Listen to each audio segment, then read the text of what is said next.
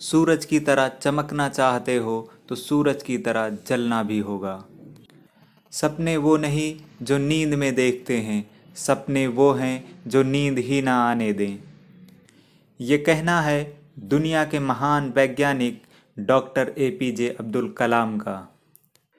तो आज के इस वीडियो में हम दुनिया के इस महान वैज्ञानिक के बारे में थोड़ा कुछ जानने और बहुत कुछ सीखने की कोशिश करते हैं। 15 अक्टूबर 1931 को तमिलनाडु के रामेश्वरम में एक मुस्लिम अंसार परिवार में जैनुल आबदीन के घर एक बेटे का जन्म हुआ। इनके पिता जैनुल आबदीन एक गरीब परिवार से आते थे और वे पेशे से एक नाविक थे।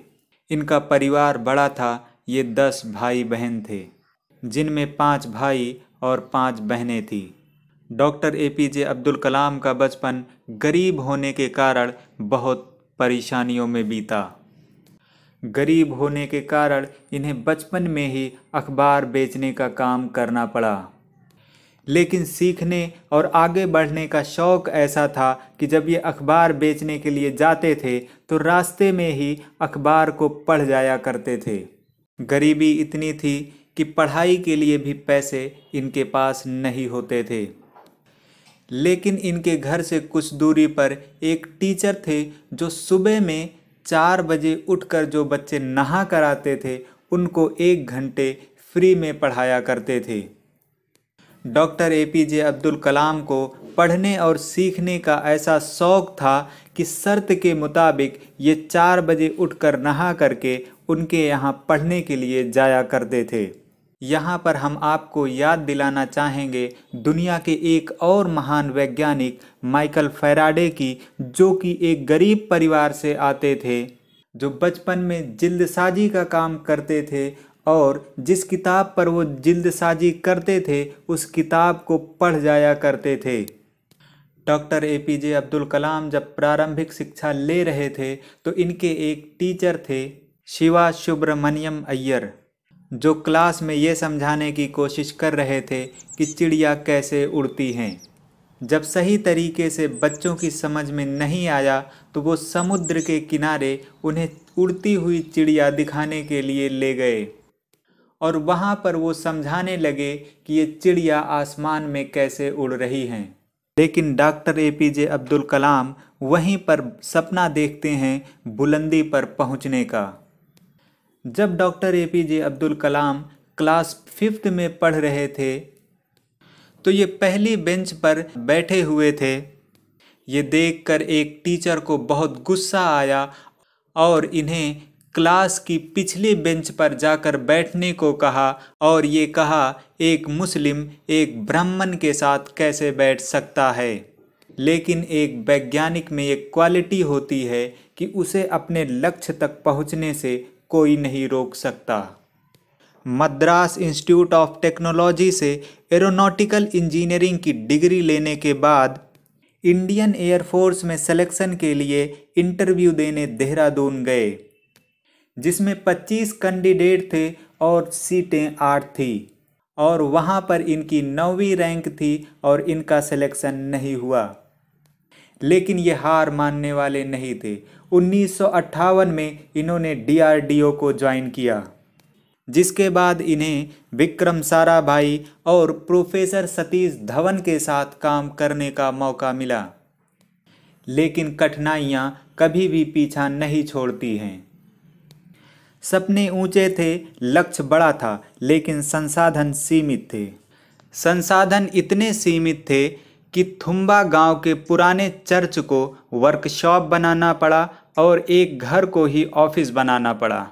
जब मिज़ाइल के पार्ट को तैयार किया गया तो उसे ले जाने के लिए व्हीकल नहीं थे, यानी गाड़ियाँ नहीं थी।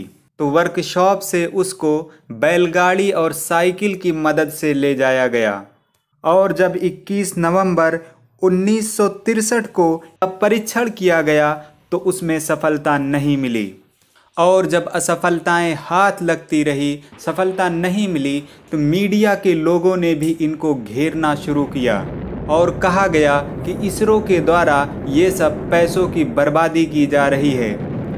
अब बारी थी कलाम को मीडिया के सामने जवाब देने की, इंटरव्यू देने की। उस वक्त इसरो के चेयरमैन हुआ करते थे प्रोफेसर सतीश धवन। उन्होंने इन सारे फेलियर की ज़िम्मेदारी खुद ली और अपनी टीम को मोटिवेशन से भरा। तो कहा जा सकता है कि जब बॉस प्रोफेसर सतीश धवन हो तो missile man A P J Abdul Kalam पैदा होते हैं। सन 1970 से 1990 के बीच पी और एसएलबी लॉन्चर व्हीकल की सहायता से पृथ्वी और अग्नि जैसे मिसाइल का सफल परीक्षण किया गया। उनके इन्हीं कार्यों के लिए सन 1981 में पद्म भूषण और 1990 में पद्म विभूषण से सम्मानित किया गया। और उसके बाद उन्हें एक बड़े प्रोजेक्ट यानी कि पोखरण टू की कमान सौंपी गई। इस प्रोजेक्ट का सबसे बड़ा काम था दुनिया के पावरफुल देशों की नज़र से इस प्रोजेक्ट को बचाना, क्योंकि पूरी दुनिया भारत के इस परमाणु प्रोजेक्ट को रोकना चाहती थी। इसलिए ये काम बहुत गुप्त तरीके से किया गया और भारत के इंजीनियर्स आर्मी की ड्रेस पहन करके पोखरन में इस काम को अंजाम देते नज़र आए। इस प्रोजेक्ट को दुनिया की नज़र से बचाना बड़ा काम था, आपको मैंने इसलिए कहा क्योंकि भारत 1974 में तत्कालीन प्रधानमंत्री इंदिरा गांधी के समय पर स्माइलिंग बुद्धा, यानी कि पोखरन वन के नाम से न्यूक्लियर टेक्नोलॉजी का सफल परीक्षण कर चुका था। बस रह गया था उस न्यूक्लियर टेक्नोलॉजी को एटॉमिक वेपन्स का रूप देना, जिसे भारत ने सन उन्नीस सौ अट्ठानबे में सफलतापूर्वक हासिल कर लिया। उन्नीस सौ अट्ठानबे में भारत तत्कालीन प्रधानमंत्री अटल बिहारी वाजपेयी के समय पर दुनिया के परमाणु संपन्न देशों की श्रेणी में छठे नंबर पर आ गया। इस महान और अद्वितीय कार्य के लिए doctor A P J Abdul Kalam को उन्नीस सौ सत्तानबे में भारत रत्न से सम्मानित किया गया। सन 2001 में भारत के तत्कालीन प्रधानमंत्री अटल बिहारी वाजपेयी का call doctor A P J Abdul Kalam के लिए गया। और प्रधानमंत्री ने doctor A P J Abdul Kalam से बात की और उनको भारत के राष्ट्रपति का कार्यभार संभालने के लिए कहा। Doctor A P J Abdul Kalam ने कुछ घंटों का समय मांगा और उसके बाद ये ज़िम्मेदारी स्वीकार कर ली। साल 2002 से 2007 तक उन्होंने राष्ट्रपति पद की ज़िम्मेदारी संभाली। ईमानदारी इतनी थी कि अपने बड़े भाई को हज के लिए जब भी भेजा तो प्रधान राष्ट्रपति रहते हुए भी अपने खर्च पर भेजा और जब अपने परिवार को अजमेर शरीफ की दरगाह के लिए भेजा, तब भी अपने ही खर्च से भेजा। राष्ट्रपति कोष से कोई भी पैसा नहीं लिया। और जनता की सेवा इस तरह की कि उन्हें जनता का राष्ट्रपति कहा जाने लगा। उन्होंने कई सारी अच्छी किताबें भी लिखी, जिनमें ignited mind wings of fire और इंडिया 2020 है। इनमें विंग्स ऑफ़ फायर जीवनी से रिलेटेड है और इंडिया 2020 2020 तक भारत को विकसित देश बनाने के बारे में है।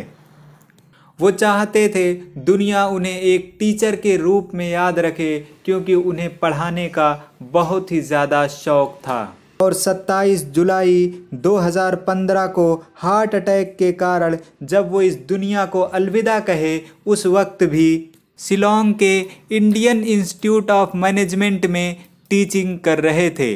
इस महान वैज्ञानिक के जीवन के कौन से भाग ने आपको सबसे ज़्यादा प्रभावित किया, आप हमें कमेंट करके बताएँगे। जय हिंद।